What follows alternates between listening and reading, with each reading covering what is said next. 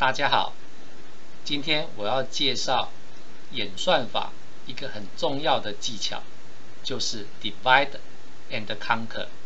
divide and conquer 是演算法中还不错的一个技巧。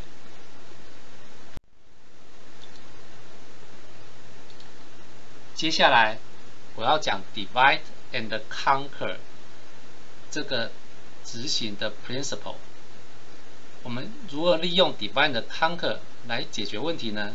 首先，我们要解决那个问题，可以先切割成若干个小问题。基本上这些小问题都差不多一样大，然后个别小问题再去解，解出来的答案再做所谓的 conquer 的动作，把它合并成原来问题的答案。这就是 divide and conquer 执行的一个 principle。简单来讲，它有三个步骤。第一个步骤，把大问题切割成若干个小问题。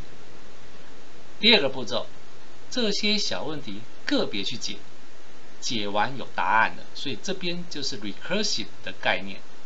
接下来解完的答案，再透过第三个步骤，这是 conquer 的部分。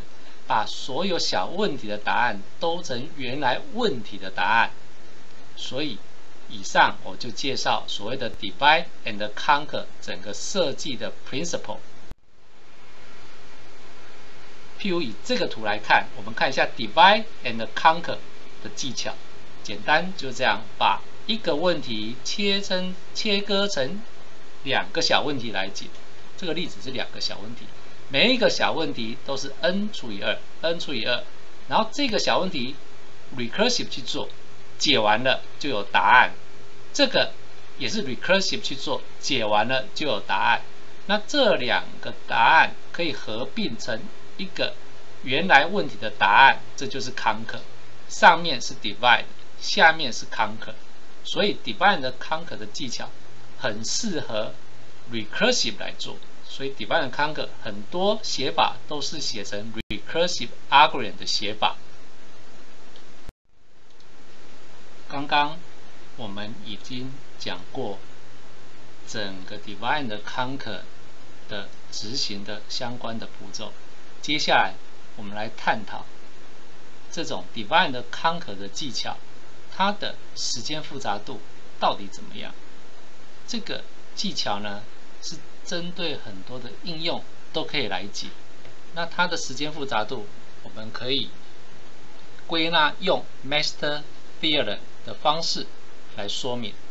首先，T R N 是指 Divide and Conquer 的演算法设计的技巧，Input Size 是 n，那 T R N 就是这个啊需要花的时间。那解这个问题花的时间这么多，等于什么呢？等于会把一个大问题切割成 a 个小问题来解。每一个小问题多大呢？就是 n 除以 b。所以这边就是一个 divide 的的一个方式。conquer 是什么？当这些小问题解决完之后，我们要把它合并成原来的问题大问题的答案，就需要 f n 的时间。假如 f n 的时间坐落于在这个时间复杂度 theta n 的第次方，则我们就满足 Master Theorem。那 Master Theorem 有三个结果：第一，假如 a 小于 b 的第次方，则 T of n 这个时间复杂度就坐落在 theta n 的第次方；第二，假如 a 等于 b 的第次方，则这个时间复杂度所花的时间就坐落在 n 的第次方乘以 log n。假如 a 大于 b 的第次方，则这个时间复杂度就坐落在 n 的 log b a 次方。底下我们举三个例子来做说明。第一个，假如我花的时间是 t of n，我分成四个小问题来解。这四个小问题多小呢？就 n 除以二。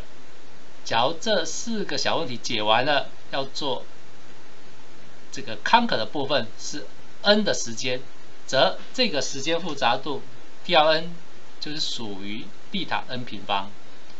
接下来一样哈，就是说，只要解决这个小问题的时间要 n 的平方，则 T l n 就属于 d 塔 n 的平方 log n。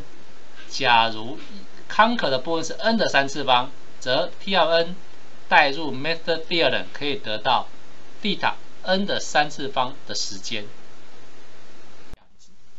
define 的 conquer 应用很多，它可以用在很多不同的例子，譬如说 sorting、merge sort、quick sort、binary tree traversals、binary search，两个整数的相乘，两个矩阵的相乘，还有这些这个这个几何的一个问题，都可以用 Divine 的 conquer 来解。以上我们谈到整个 Divine 的 conquer 设计的原理。以及它的时间复杂度的分析和相关的应用。接下来，我们针对一个特定的应用 merge sort 来说明 Divine 的 conquer 怎么执行。merge sort 就是一种 soting。那 merge sort 怎么做呢？简单讲，就是一个 unsorted 的一个阵列给我们。然后呢，我们怎么做？我们只能透过 comparison 跟 exchange 来达到 sorting。那 merge sort 的做法很清楚，用 define 的 conquer 怎么做呢？首先把一个阵列 A 有 n 个 elements，把它切两半，分别是 B 跟 C，这个动作就 divide，个别去做 sorting。假如 sorting 完了，用递回的方式 sorting 完了 B 跟 C。在做什么？做 conquer，就把 B 是排列过的，C 也是排列过的，把它合并到所谓的阵列 A，它也是排列过的。所以，我们利用这种 define 的 conquer 的特特性，可以来解决 merge sort。底下举一个例子来讲 merge sort 怎么做。首先给八个资料：八三二九七一五四。那 merge sort 的做法很简单，就是首先做 divide，把一个大问题切成两个相同的小问题来解。那这两个小问题很明显就是八三二九七一五四。那这两个小问题怎么做呢？一样，八三二九再去切成两个小问题来解，分别是八三跟二九。那八三二九，哎，看起来都还没有解完，对不对？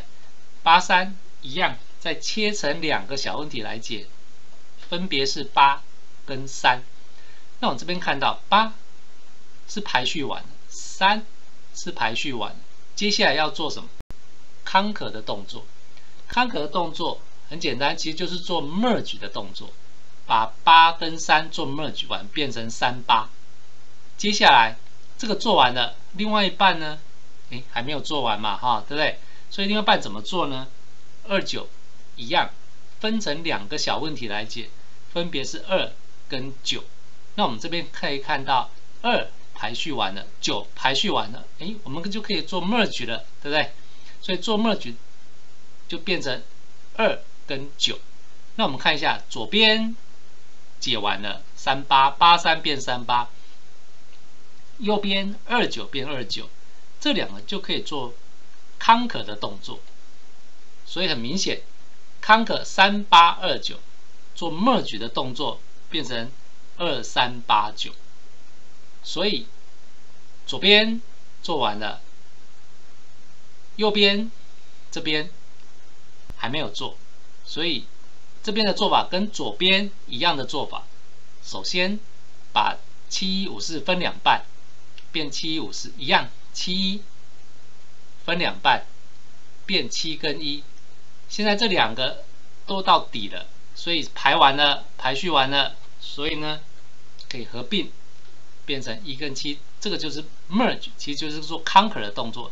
接下来七一排完了，五四还没有，五四一样分两半，五跟四。接下来这两半个别做完了。然后做康可的动作，变成四跟五。接下来这个排完了，排完了，接下来这两个要做康可的动作，所以变成一七四五变成一四五七。接下来我们看一下，刚刚一开始八三二九排完了，七五四也排完了，最后做 conquer 的动作，答案就是一二三四五七八九。所以以上就是一个 merge sort 的一个例。接下来我们讨论 merge sort 的演算法。merge sort 演算法分成一个组成式叫 merge sort。等下一章投影片我们再讲 merge 的复程式。那 merge sort 怎么做呢？很简单，就是我要做 sorted A 的阵列零到 n 减一，总共 n 个资料。首先怎么做呢？它把 n 个资料分成两半，我们看一下哦。copy 左半给 B，右半给 C，这就 divide。然后呢，个别去做 merge sort，这就递回的呼叫。因为 B 跟 C 分别去呼叫这个 merge sort，所以这是 recursive call。呼叫完之后，接下来我要什么 conquer？上面是 divide，conquer 就是这个 merge。merge 等一下讨论，就是把 B 跟 C 排列过后的，把它放到回放到 A，所以这这整个 merge sort 的做法。刚刚我们讲的是演算法的主体 merge sort，接下来 merge sort 会用到 merge 的复程式，那这边是 merge 的复程式的 pseudocode。首先 merge 就是说把 B sorted 过后的 B 跟 C 要合并成一个 A，很明显 A 阵列的大小就是 B 加 C 阵列的大小。好，它怎么做呢？一开始设定三个 index ijk，分别代表 B、C、A 的 index。例如这个例子，B、C、A，B 有四个 elements，C 有四个 elements，的 A 就有八个 elements。它怎么做呢？基本上通过这个坏回圈。利用 B、C 两两依序由左到右两两的资料相比，小的往下搬，大的等一下，接下来再两两相比，然后把它搬完之后，剩下的我们看一下，只要 i 等于 p，表示说 B 搬完了，就把剩下的 C 搬到 A，否则就把剩下的 B 搬到 A。